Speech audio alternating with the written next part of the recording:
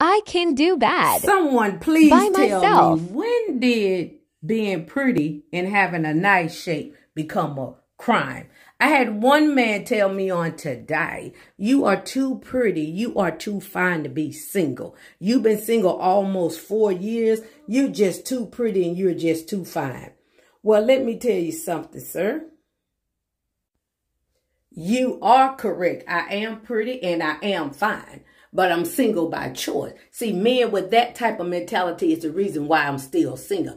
It ain't my looks, it ain't my hips, and it ain't my ass. It's what's on the inside that I'm looking for.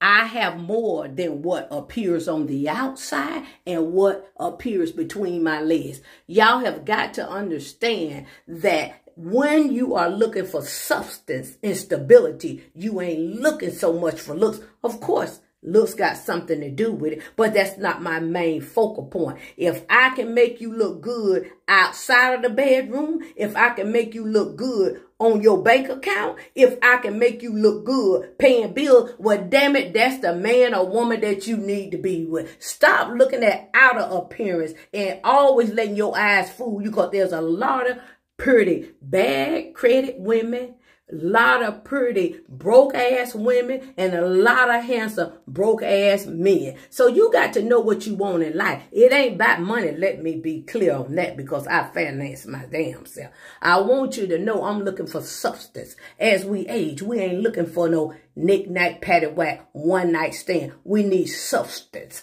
We want stability. Now, if you can't be that, I will continue to be single. Thank you very much.